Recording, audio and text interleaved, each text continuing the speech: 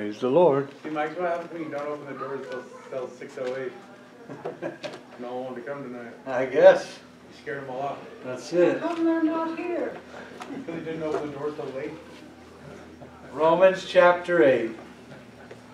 Speaking of late, it just rhymes. Romans chapter 8.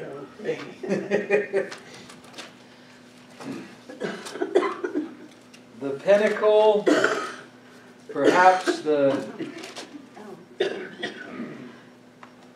the uh, well, it's no surprise nobody's here. This is the most important chapter in the book of Romans, in my opinion. It really, it really The is. solo begats? It's no. This is just. Genesis. Mm-hmm. This is Sorry, I'll quit interrupting you. Romans chapter. No, it's be my guest. You're on film.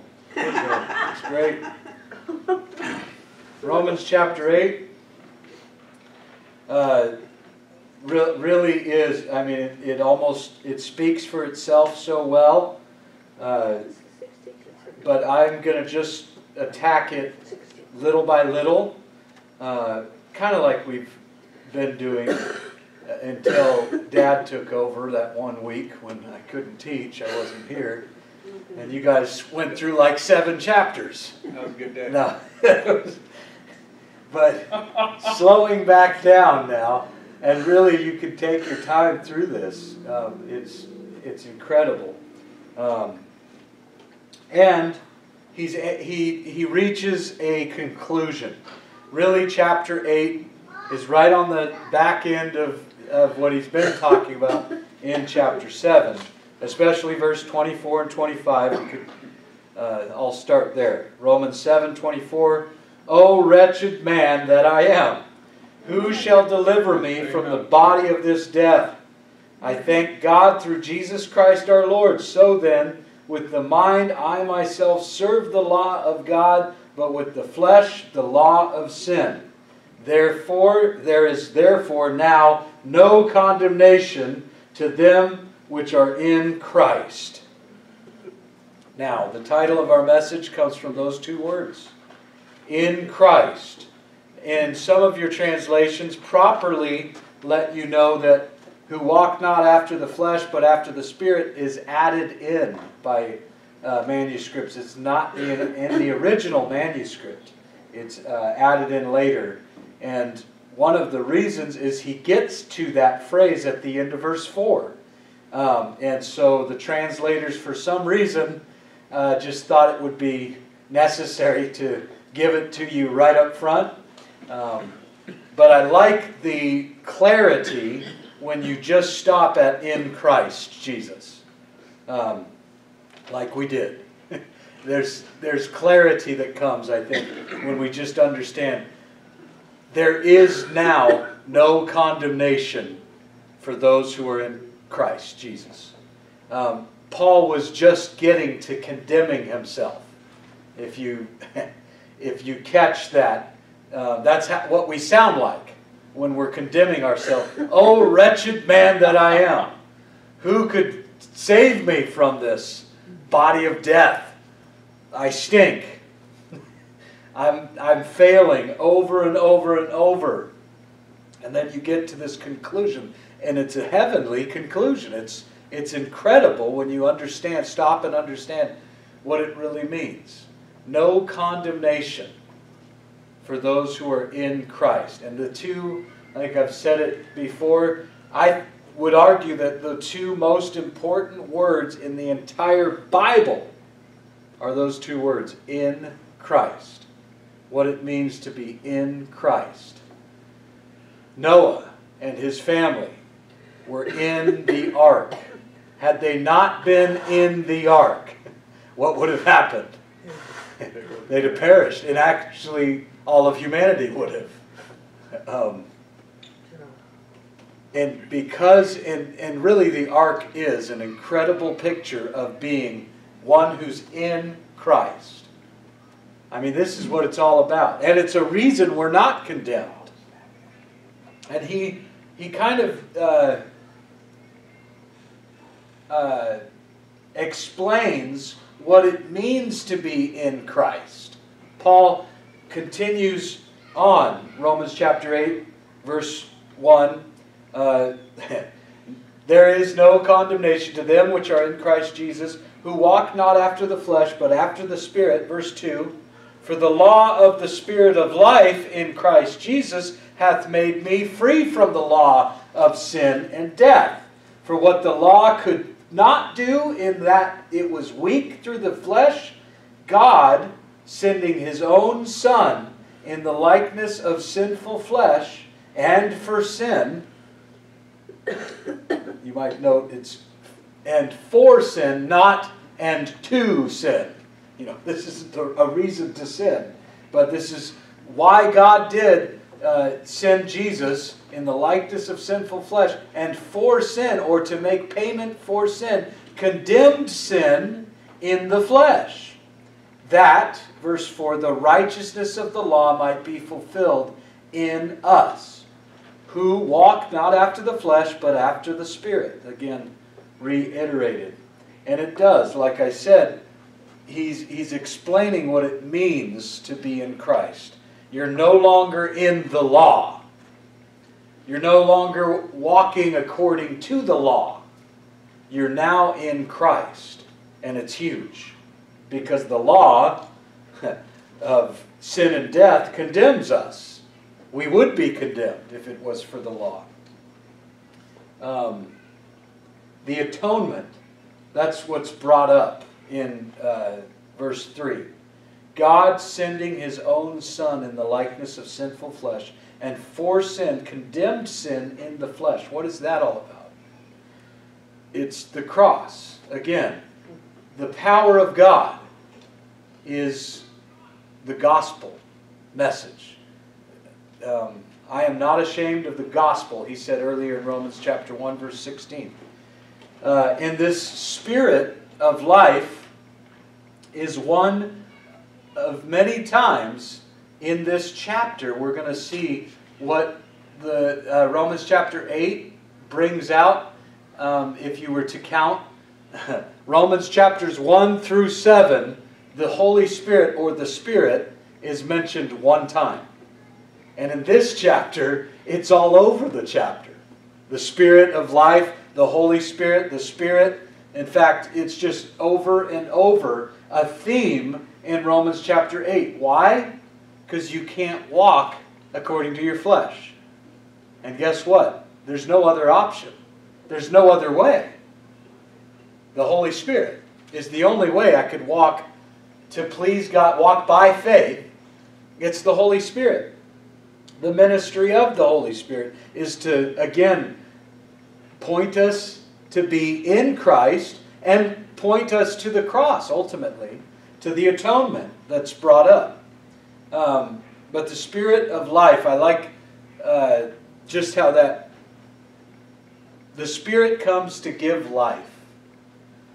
We're going to see the flesh, and we've seen actually in Romans chapters 1 through 3 especially, how the flesh brings death.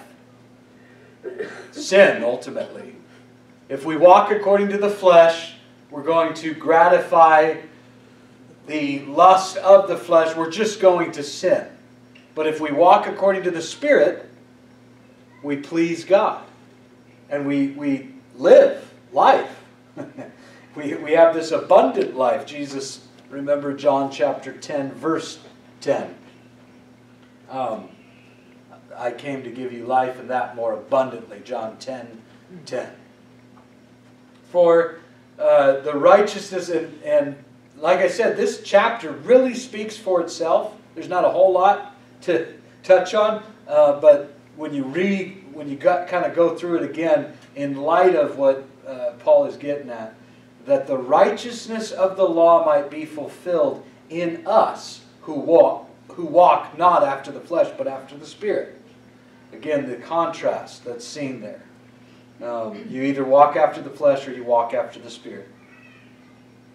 Uh, and somebody said right, rightfully, not your spirit.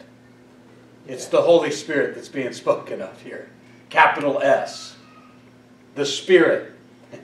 It's, it's not the human spirit. It's not the spirit of man. What is it? The Spirit of God. For they that walk, uh, or sorry, verse 5 goes on. For they that are after the flesh do mind the things of the flesh, but they that are after the Spirit, the things of the Spirit. For to be carnally minded is death, but to be spiritually minded is life and peace. Because, and then he explains in verse 7 the carnal mind is enmity against God, for it is not subject to the law of God, neither indeed can be.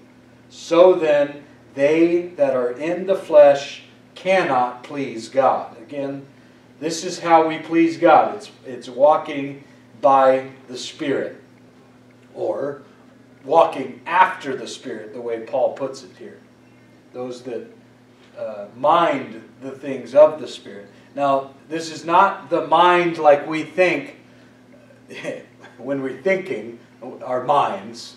Um, but this is rather the word for mind, or and even in verse 6, carnally minded and spiritually minded. It's how we would say mind, what you have in mind for your, and, and you, you care for your job, you uh, have this in mind for it.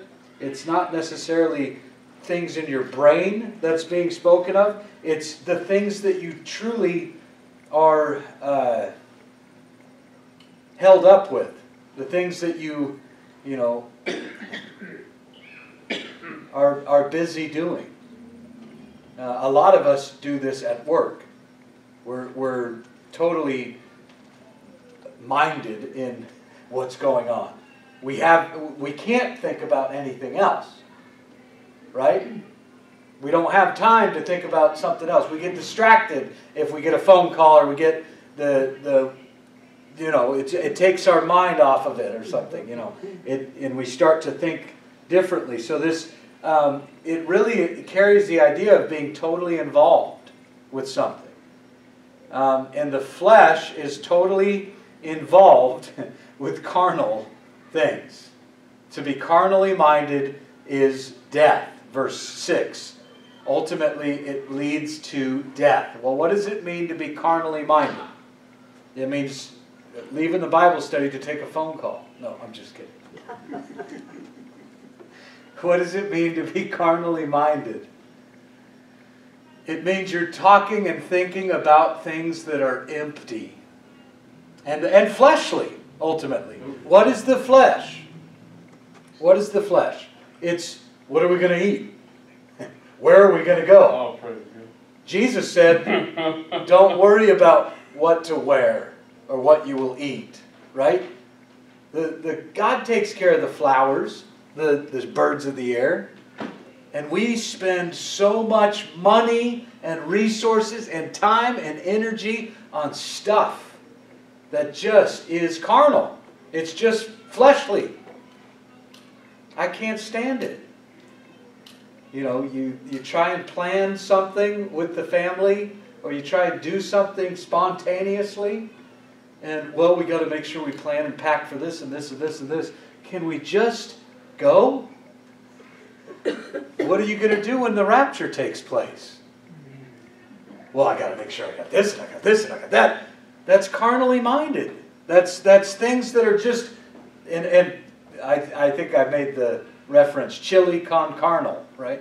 It's just meaty, it's fleshy. It's, it's stuff that's here, you're right, it's tangible. We know it'll be here where we left it, you know. And, and we're, we are practical, our minds, our, our uh, very nature is to go after those things. We have a knack for the tangible, the, the, and for saving, and for storing up, and for all of that stuff. You know, we hold on to things naturally, don't we? We really do. We hold on to things that are sentimental to us. Don't mess with those things. Nope. Don't touch those things.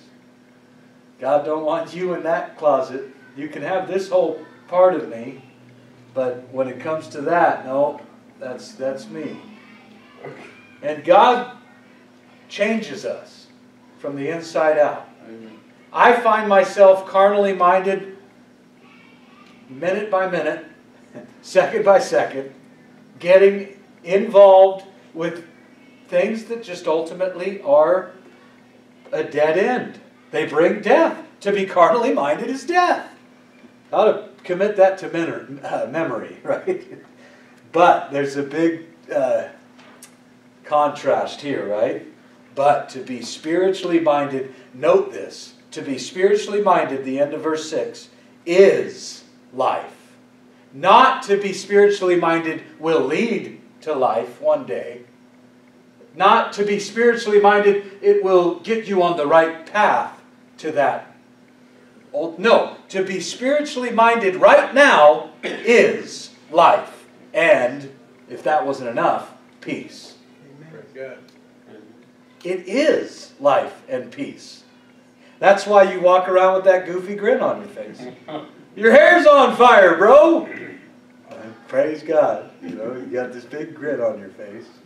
Don't you know that the, the world's falling apart around us? Praise the Lord. Peace that passes all human understanding. A peace that truly will drive the world crazy. And it does. They wonder how in the world can those people of all different ages and races and sizes and, and every different background, how in the world are they under the same roof, caring for each other, putting others' needs before their own? We baffle the minds of those who are in power that spend billions and trillions of dollars on trying to create this from the flesh. And it, it will lead to nothing. Uh, we'll probably not get there tonight, but there's a whole lot you can get into when you get when you finally when we get down to it's not just us. It's not just human beings. But that's what's neat about Romans 8. We're going to see the whole creation verse 22. That's that's probably for next week, but the whole creation groans. It's not just you, it's not just me. It's the trees, it's the ocean, it's the, the animals. all, all of creation, the whole creation. Well, no, I know what creation needs to be redeemed. I know what needs to happen. We just need a le- little less carbon footprint, right? That'll take care of all of it. And you can get caught up getting carnally minded, and it's it's you could say, well, no, you're being too spiritual. But see, Paul, well, that's what's so, so radical. It really is radical. Romans chapter 8. And that's why I said it's, it's the most important chapter, in my opinion, in the book of Romans. Because it causes you to see, oh, there's the flesh and there's the spirit. And there's people all around us who emphasize, talk about, promote the flesh constantly. and then there's Jesus. And I'll just say him because he alone really brings life, the Spirit. And that's why the Spirit, the Holy Spirit, says, Look at him. Look at Jesus, because Jesus that shows you the Heavenly Father. If you've seen me, you've seen the Father.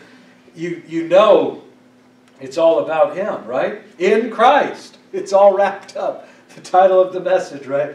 In Christ. That's what it's all about. And the law of God is made perfect in Christ. You know, the law before, if, if we tried to keep the law, you know, kind of keeping things in context, if you tried to keep the law in the power of your flesh, you, it's, there is no hope there. And what Romans chapter 8 points out, among many other things, is that in Christ, the law is totally fulfilled. In fact, we have no obligation if we're in Christ. Not only no condemnation, but no obligation. That's verses 9 through 17. You think we can make it? I don't know. Let's see. but ye are not in the flesh, but in the Spirit, verse 9. If so be that the Spirit of God dwell in you. Now, if any man uh, have not the Spirit of Christ, he is none of his. And if Christ be in you, the body is dead because of sin, but the Spirit is life. There it is again. Because of righteousness. Whose righteousness? Who do you think? God. Christ. Right on. Jesus. I know it's not mine. Not none of my righteousness. So, verse 11, but if the spirit of him that raised up Jesus from the dead dwell in you, he that raised up Christ from the dead shall also quicken your mortal bodies by his Spirit that dwelleth in you. Therefore, brethren, we are debtors not to the flesh, to live after the flesh, but, or sorry, verse 13, for if ye live after the flesh, ye shall die. But if ye through the Spirit do mortify the deeds of the body, ye shall live. Kind of a oxymoron to the common mind. Put uh, the deeds of the flesh to death, and then you'll live. you know. Uh, for as many as are led by the Spirit of God, they are the sons of God. Verse 15 For ye have not received the spirit of bondage again to fear, but ye have received the spirit of adoption, whereby we cry, Daddy, Father, Abba. Abba is literally translated daddy, the most affectionate words you can hear from your kids. And uh, verse 16, the Spirit itself bears witness with our spirit that we are the children of God. And if children, then heirs, heirs of God. There's something you can never fully comprehend. An heir of God. You're, you're working with God. Stay tuned, you'll be ruling and reigning with Christ and with God. I mean, that'll blow your mind right there. And joint heirs with Christ, if so be that we suffer with him. There's a big if, right? If we suffer with him, that we may be also glorified together. We'll stop there tonight, but a big enough chunk to chew on, for sure.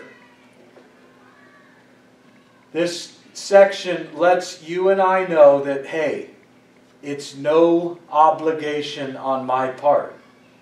In other words, Christ has done it all. This is what it means Christ be in you. Verse 10, right? Like we read. If Christ be in you, then guess what? the body is dead because of sin. Does that mean you don't ever sin? No. I wish. But no, that's not it. We all know that, that we, we still sin. But, verse 10 goes on the spirit of life because of righteousness. That's what Christ brings. Again, it's Christ's righteousness, it's, it's Christ who lives in me. And that same spirit of him that raised up Jesus from the dead. Now, verse 11 is kind of neat for those that have a hard time with the Trinity. I didn't do my homework, I should have, but it just reminded me just now of a proof that the Trinity, and you can take this verse, Romans 8 11, how it says very clearly, the Spirit of him that raised up Jesus from the dead. And you can look at other passages and see the Father raised up Jesus from the dead. And then you say, see another passage that says Jesus Christ himself raised himself from the dead. And you get baffled. You say, which is it? Did it the Father? Did the Son? Or did the Holy Spirit raise Jesus? And the answer is yes. to all three, right? By the Scriptures. Another just kind of uh, great proof of that whole uh, doctrine of the Trinity. And it's, it's throughout the Bible, but that's just one uh, example there. But that same Spirit that raised Jesus from the dead dwells in you. Again, this is how we are in Christ. The title of the message, In Christ. How could that be? The Holy Spirit dwells in you. Christ it dwells in you. This is huge. Again, this is fundamental Christianity where we understand it is no longer I who live, but Christ lives in me. It's very basic, but we need to be reminded of it, don't we? Am I the only one? No. No. we need to be reminded of these. Now, it's no longer I who live, but Christ lives in me. For they that are in the flesh cannot please God, we read in verse 8, Romans 8 8. They that are in the flesh still cannot please God. And I love the way that he puts it in chapter, in, uh, sorry, chapter 8, verse 12. Romans 8 12. Therefore, brethren, we are debtors not to the flesh. Nowhere in the Bible will you see promoting making your flesh better. It's not in the Bible. And yet, that's what we are obsessed with in our culture. Even in the church. A lot of us, right? We got to exercise. Now, I'm not putting any of that down, but we focus so much on it. We got to go jogging, we got to exercise, we got to make this flesh. And I, I always go back to my Bible college days in the name of the gym. You know, we had a little workout room, and the name over the gym was Profits Little. It's very true. Now, is it good to exercise? Absolutely. Is it, you know, good to eat right? To, to take care of your flesh? But see, you're not told in the Bible to take care of your flesh. Why not? Because you don't need to be told that. We already do it by nature, don't we? We already do it by That's nature. right. Keep these up. Are you in debt to your flesh? Because you sure live like it. That's what Paul's saying. What do you owe your flesh something that you're living? And the whole idea is I like uh, how one teacher put it. If I have this bowl of ice cream, it's right here, you can see it, right? And I eat that thing, you no longer see it. That ice cream's in me. And the flesh that we once had should be hidden. It shouldn't be seen by everybody. Rather, Christ should be on display, right? I'm in Christ. The flesh is gone. One day, it's going to be all gone.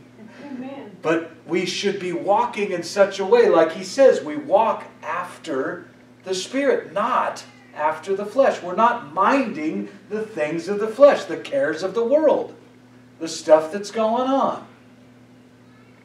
And you're getting enamored daily to think about it. To wake up in the morning and this is what you've got on your mind. Somebody said with Facebook, it was a really good quote. It's, this is the first time in human history, in all of history, where there's a gathering of multitudes. Fa- Facebook, and I'm not, I have a Facebook, I'm not knocking it. I'm just saying this is the first time, and we have a whole generation of people that gather together with absolutely no purpose at all. See, throughout history, people gather together like we do tonight. There's a purpose for it. We're here for something. People gather every morning at, at a workplace, and there's a purpose for it. And if you are like me and wake up and you look at that purposeless Facebook feed where there is no purpose, what do you think that does throughout your whole day? You, you begin to take on this kind of, I have no purpose. And we have a whole generation of people that are walking and living in such a way they have no purpose. And they believe it. They believe they have no purpose because they've been told beyond that that they came from an animal. There's a root cause to all of it. And so we, it's no wonder we're the most depressed generation of all. The most, uh, you know, all the medications and, and just billions of dollars that are going towards things that ultimately, what is it? It's a spiritual issue. It's a spiritual issue. That's ultimately what it is. You can get into a conversation about this with somebody, about some political view that others might hold. But guess what? Behind all of it, underneath all of it, is a spiritual issue. It's wrong to murder a baby in the womb. There's no getting around that, folks.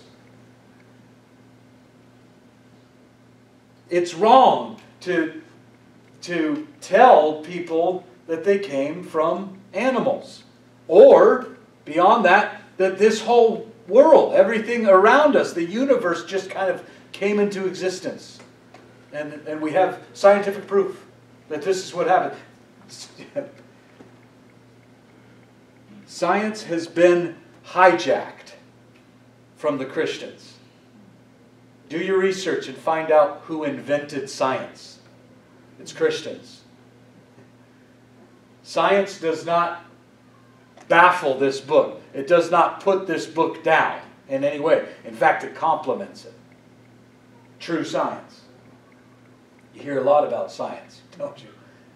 And, and actual, factual science it over and over and over again, it, it is uh, proving the Bible more and more. And not just science, but history in the same way. Uh, I don't know how I got off on all that, but anyways. Spiritual issues, right? The Spirit. The Spirit of Him who raised Jesus from the dead. In, in, uh, in other words, that same Spirit, well, verse 11 as we read, dwells in you and makes you alive. You know, to live. Not after the flesh, but through the Spirit. Put to death the deeds of the flesh. Mortify the deeds of the body, and you will live. Verse 13, right? And I like verse 14. We have this phrase that Paul throws in that uh, the Apostle John later loves to use for verse 14. For as many as are led by the Spirit of God, they are what? The sons of God. And John, 1 John 1 or 3, 1 John chapter 3 verse 1. Behold what manner of love the Father has lavished on us, that we would be called the sons of God. That you and I could be, and he takes it further and says, we've been received not with bondage to fear, but the spirit of adoption, verse 15. And we now cry, Abba, Father. He's our Father. Too many times when we pray, and there's nothing wrong with saying, you know, Lord Jesus, or God, or help. There's nothing wrong with any of that. But it's interesting that Jesus himself, when teaching us how to pray, said, You ought to pray, Our what? Father. When we go before the Lord, don't. This is the Spirit that guides us into life. He is the very Spirit of adoption that gives you the unction, gives you the, the, uh, the right to cry out, Daddy, Father. Our Father. In fact, the only time in the scripture that Jesus didn't call him Father was when he was carrying your sins. Carrying the sins of all the world. Psalm chapter 22, he cried out from the cross. Jesus cried out, What? My God, my God. He never called him God. He always, Jesus always called him Father. In that close relationship, that unity, that oneness that they that they experience, that He is. And as soon as He takes the sin, it's no wonder when we cry, we tremble sometimes. God, if you're there, it's because we're full of sin. We have that same distance. We have that that feeling. And what does it say? The book Isaiah says your iniquities have separated you from God and you feel separated. and the Holy Spirit comes in you, all of a sudden, I have a Father that not only treats me right, but loves me, loves me to death. Literally, you know, he. It's just incredible when you when you see how, uh, again, how when we're in the flesh, when we're sinful, we we begin to get separated. There's this separation that takes place. Maybe we are not even aware of it. This this separation that happens. But be in prayer, address him as your father. You know, don't be legalistic about it, but don't be afraid to say, Father, you're in heaven, you're listening.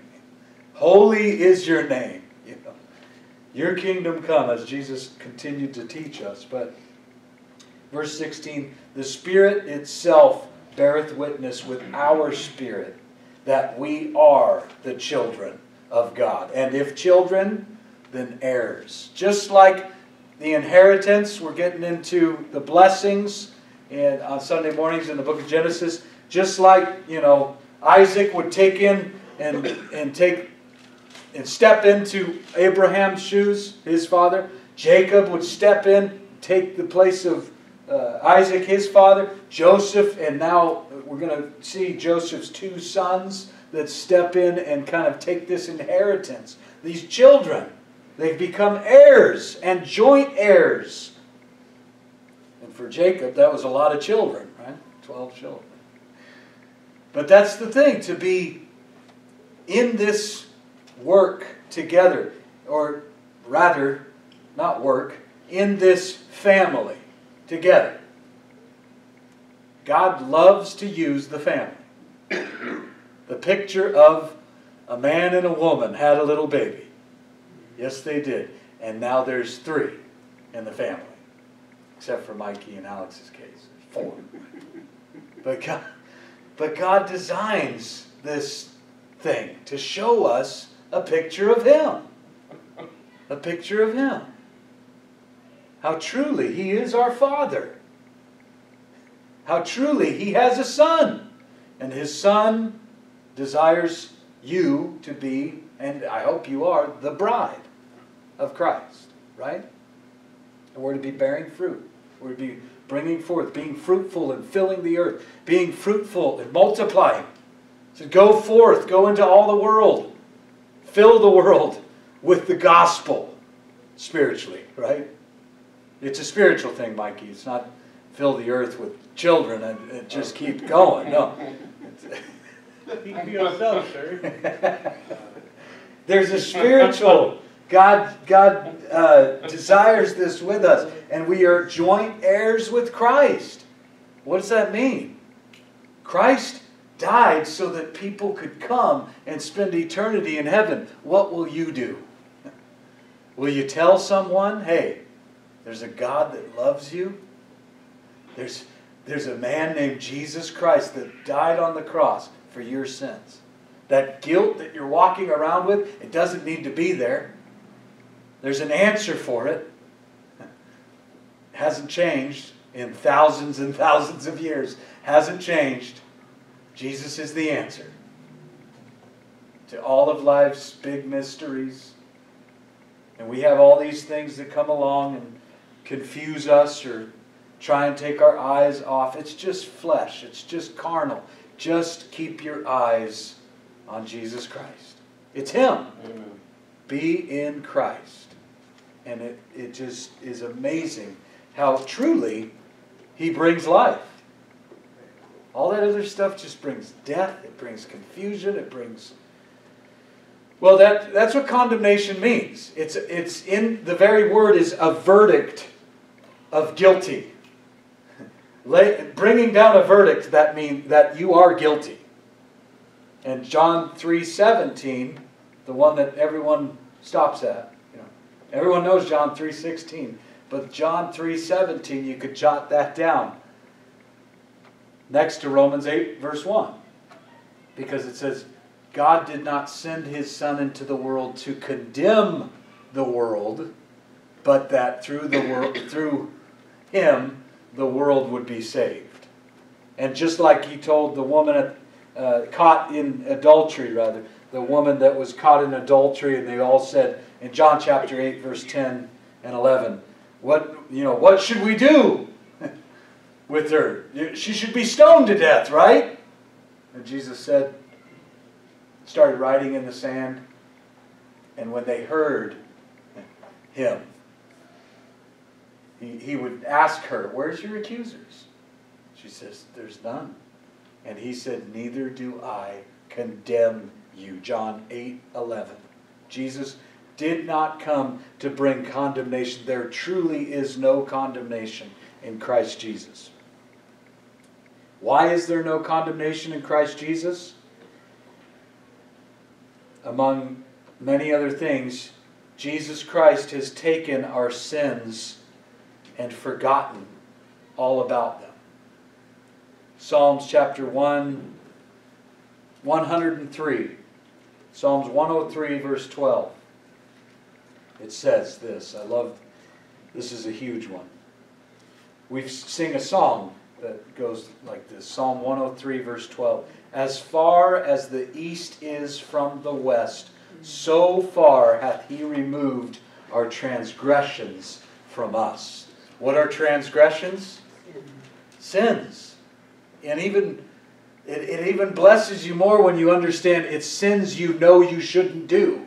I always think of the no, because transgressions kind of sounds like trespasses. And the no trespassing sign.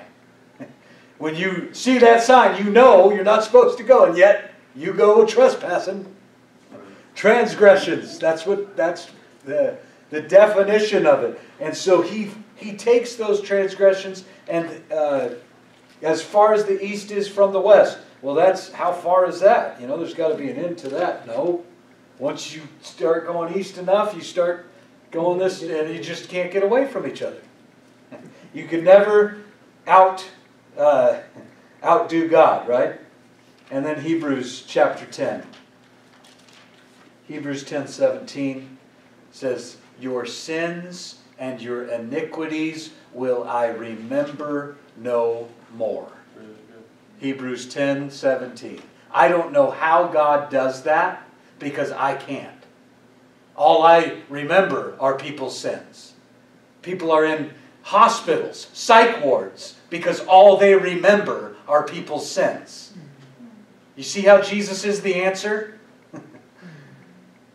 Yet, He remembers your sin personally. Don't worry about them out there.